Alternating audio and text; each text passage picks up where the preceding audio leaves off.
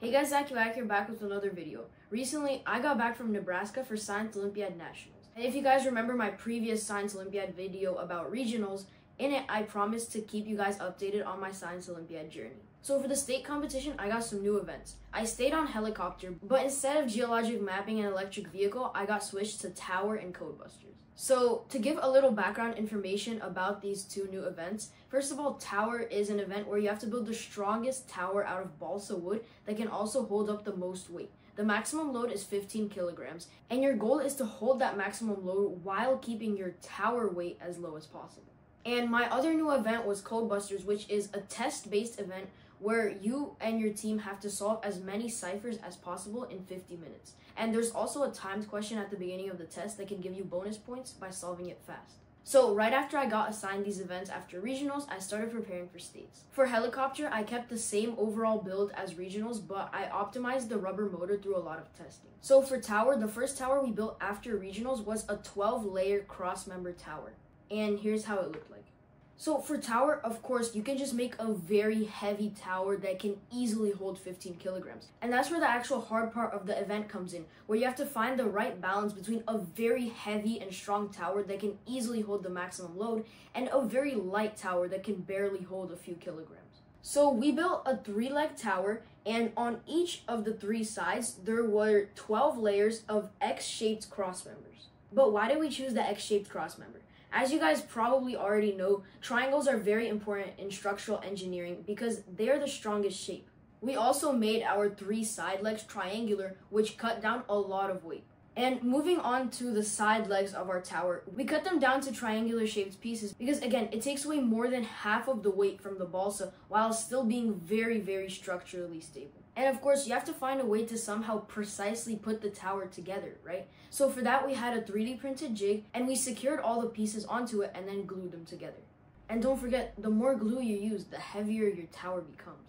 So we only had time to build one more tower for states, and we decided to go with a previous design that was tested before, which was a 10 layer cross member tower that weighed a bit more, coming in at 5.2 to 5.3 grams. Moving on to Codebusters, I had two partners and I had to learn three ciphers. The Porta cipher, the Nihilist cipher, and the Hill cipher. And for those of you guys not familiar with cryptography or ciphers, a cipher is just an encoded sentence or phrase that you have to decode and solve, usually with the help of a key. So all of these letters under the blank boxes here, that's the actual ciphertext that we have to decode. And under this, there's some numbers, and that shows the frequency of each ciphertext letter in this quote. So by doing an analysis of the frequencies and the patterns and doing a lot of practice, you begin to find patterns like this and understand that it's, it is. The Porta and Nihilist cipher were pretty straightforward. In the Porta cipher, you just have to use a table and find a letter that corresponds to your letter. And in the Nihilist cipher, it's also a table where you find a corresponding number for every word, and then you subtract that number from your ciphertext. And I know to you guys it's probably pretty confusing, but if this video gets 100 likes, I can make a more in-depth video explaining all these ciphers and how to solve them. So states came around after less than a month and it was held at UVA.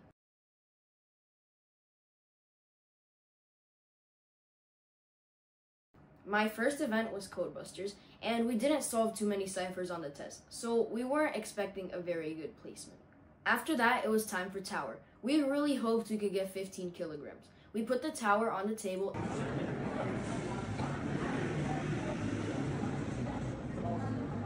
We were loading the sand and everything seemed perfect. We thought it would hold 15 kilograms.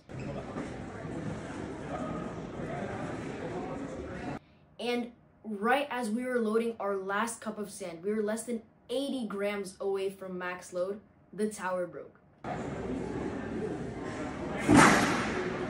We were very disappointed and sad after that, but we still hoped for a decent placement. And finally, my last event was helicopter.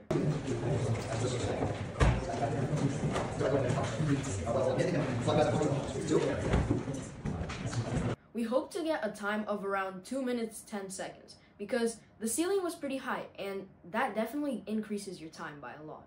Our first flight attempt only got 1 minute and 20 seconds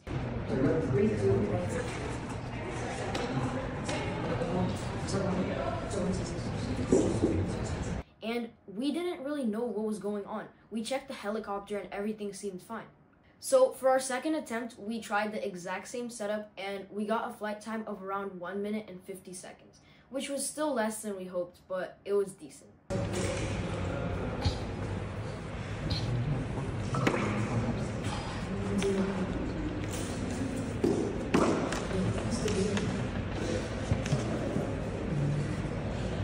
And until now, I'm not very sure about what happened, but I think it could have been because of a winding mistake. For example, I noticed when testing my helicopter that if you don't stretch the rubber band back enough, then your time can be significantly decreased. So all my events were done, and after spending some time relaxing and walking around the campus, it was time for the award ceremony.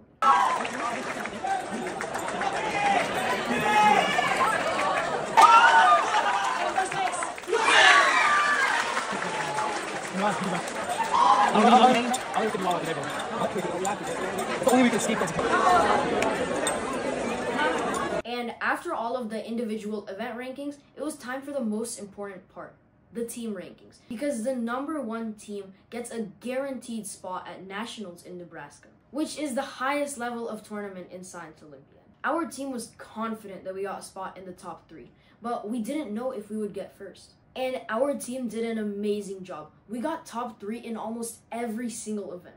Fourth place was announced, not us. And now it was time for the top three. Third was also not us. And then it came to second place, and it wasn't us either. So we were almost certain that it was us at first. But it was still a moment of truth for us. The entire team was anxious. And when they finally announced first place, TJ!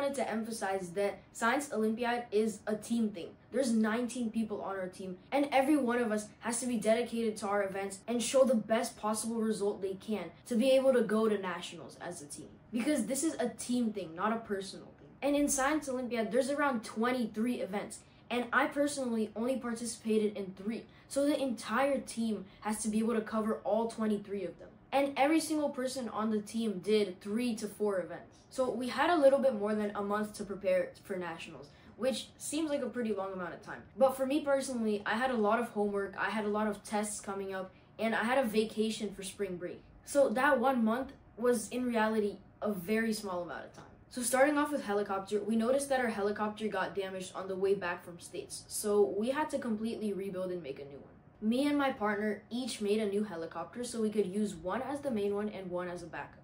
They both turned out pretty well, and again, we got to work on optimizing the rubber motor to make it fly as long as possible. At regionals and states, 1 minute and 30 could get you a medal, but at nationals, it's nothing. We also had very little time to make the tower because there was a lot of conflicts in schedules. And of course, our previous tower broke after states.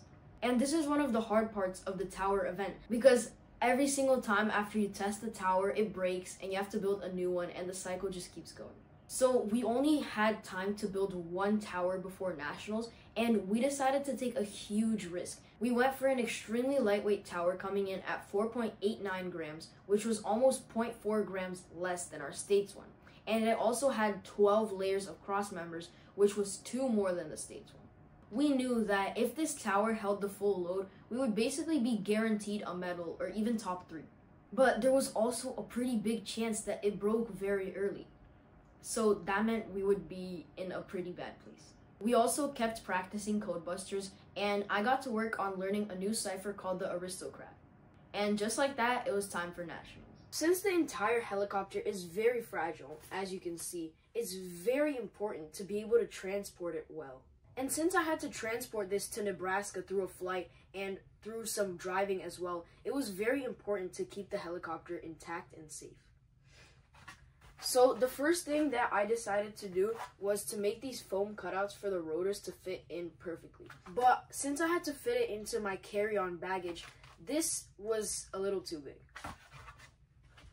So the next thing I did was I 3D printed some custom holders for all of the rotors and the motor sticks. Here's the holder for the top one.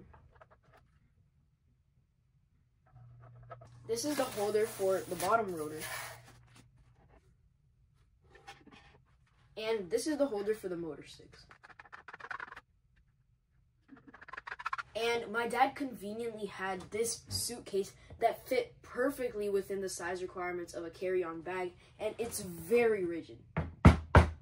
So it's practically impossible for the helicopter to break in this. And the suitcase looks boring on the outside, so I decided to add some stickers.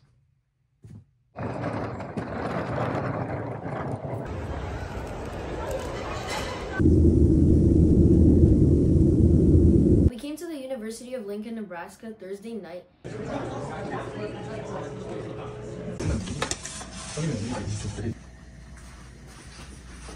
And Friday was a fun day where we got to explore the campus, visit the Science Olympiad STEM Expo, and also go to the opening ceremony.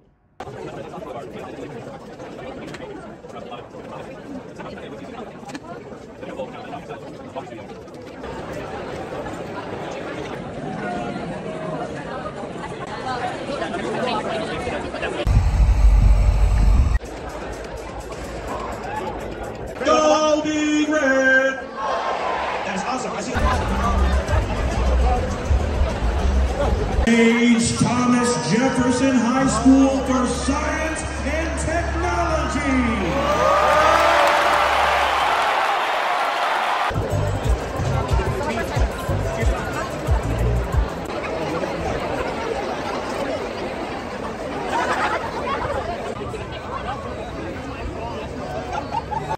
Science Olympiad has a cool tradition after the opening ceremony called a swap meet, where teams come in with cool things such as plushies and shirts, and they try trading with other teams to get something that they want.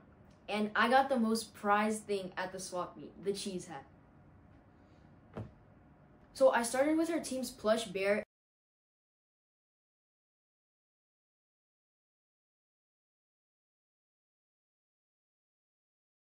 and some cool collectibles from the University of Nebraska Lincoln. And I was able to trade the bear up to a full body Coca Cola suit. And I traded the university collectibles for a bandana. And then I asked around a lot of people who had the cheese hat, and I was finally able to find a person that could give me the cheese hat for all of the things I had. And at that moment, I felt like a trading Olympiad participant. And the next day on Saturday was time for all of the events.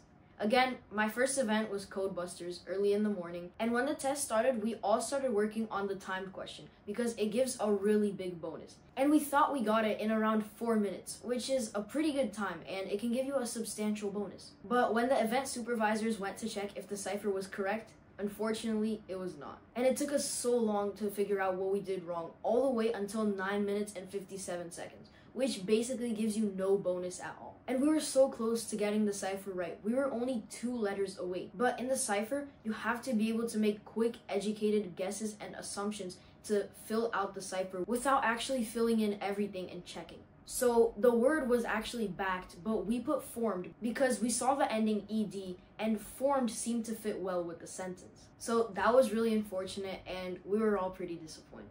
After that was Tower, and me and my partner were both nervous since we had no idea what was gonna happen. And when we walked into the Tower event, we were pleasantly surprised because at the Nationals level, the setup quality is very high. For example, they had expensive high speed slow motion cameras that recorded every single tower that participated. And also at the end, there was an expert that could talk to any team that wanted to analyze the slow motion footage of the tower breaking and tell them what was going on and what could have caused the breakage. So we put our tower on the testing stand and we waited nervously. We loaded and unfortunately it broke at 11 kilograms, which is not too bad, but it's not the maximum load.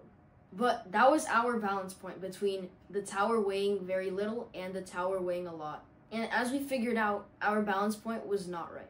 So when it got to our turn to analyze the footage with the expert, he told us that our tower was pretty good and that there was a high likelihood that the top of the tower got bumped somewhere during transportation or while we were working on it because it's very uncommon to see towers with our design break near the top. And finally, it was time for helicopter. When we came to the place where helicopter was being held, we were shocked because there was a ledge around halfway to the ceiling and it was covering around one third of the space. So if you don't launch your helicopter under the ledge, there's a high risk of the helicopter going to the ledge and then getting stuck there and not being able to get out. And when we came, we saw dozens of helicopters already stuck on that ledge, and it was very scary. So we had two options. One, we could launch our helicopter under the ledge, meaning it would not get stuck above it. But we would have a substantially lower time since the ceiling was lower. And our other option was risk getting trapped in the ledge, but going for the high ceiling. And of course, we took the risk. So we launched the helicopter under the ceiling, and everything seemed fine until it wasn't. As the helicopter was finally descending, it flew right to the ledge, and we thought it would land there and get stuck forever. But luckily, around two inches above the ledge, the helicopter randomly veered off and landed normally. And the time for our first run was 1 minute and 50 seconds. And that was pretty disappointing for us. But there were a couple reasons why that happened. First of all, we had to add a lot of weight to our helicopter at the place because the supervisors told us it didn't weigh enough, even though we used a precise electronic scale to weigh it, and it was 4 grams, which is the minimum. And we used a precise scale down to the milligram that was being used at the regional and state competitions. But at nationals, they used a different scale. And based on that scale, we had to add a lot of weight to our helicopter. So I don't know, maybe our scale was inaccurate or maybe the nationals one was, but that definitely decreased our flight time. Another thing that a lot of competitors and coaches mentioned was that the room had AC on full blast, and that's not a good sign for helicopters because strong airflow in a room can make the helicopter less balanced and in turn lower the flight time. So for our second run, we went for a pretty similar setup except we winded the rubber motor just a little bit more. And we got 2 minutes 2 seconds, which was not that bad. So as a team, we got a pretty good result, 19th place, and we did better than last year. And I wanted to say that Nationals is the best of the best, where teams had to do the best in their state to get there. And there were 60 teams competing and more than 2,000 people. And that marked the end of the 2024 to 2025 Science Olympiad season. It was a really good experience, and I hope to be able to do Science Olympiad next year. And if you enjoyed this video, please like it and subscribe. And I'll be glad to share with you guys my future Science Olympiad experiences. Bye.